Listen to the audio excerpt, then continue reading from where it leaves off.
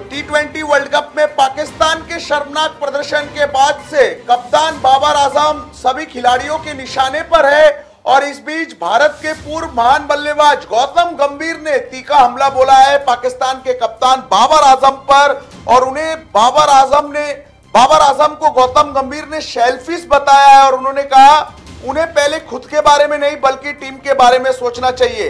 बाबर आज़म की कप्तानी का आलोचना करते हुए गौतम गंभीर ने कमेंट्री के दौरान कहा, मेरे विचार में सबसे पहले आप अपने बजाय अपनी टीम के बारे में सोचे। अगर आपकी योजना के अनुसार कुछ नहीं होता है तो आपको फकर जमान को बल्लेबाजी क्रम में ऊपर भेजना चाहिए था। इसे कहते हैं सेल्फिश यानी स्वार्थी। एक कप्तान के रूप में स्वार्थी होना आसान है। बाबर और रिजवान के लिए, पाकिस्तान के लिए पारी की शुरुआत करना और इतने सारे रिकॉर्ड बनाना आसान है।